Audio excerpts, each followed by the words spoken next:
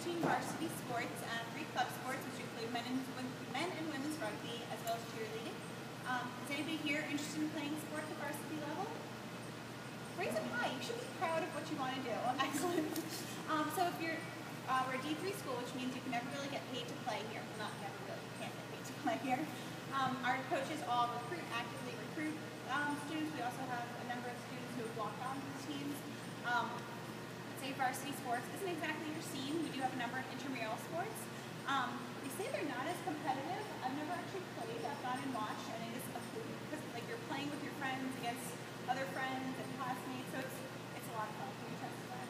Yeah, I used to play basketball here, and you know, some games you get beat like 80 to 20, and then like obviously we're bad, so the next game we get like 20 to 18, like absolutely horrible. I think collectively the team shot like 17 percent. So those are a lot of fun, though, right? That's Yeah, what I was yeah. after. Oh yeah, great way to get involved, stay active. So if the whole sports thing isn't your deal either, totally fine. We have a number of um, classes like Pilates classes, yoga, spinning, anything like that, um, which are all free to students. And then also in addition to that, we have a number of classes that are available a, to- for a credit. Um, so there's like one the sailing course, there's like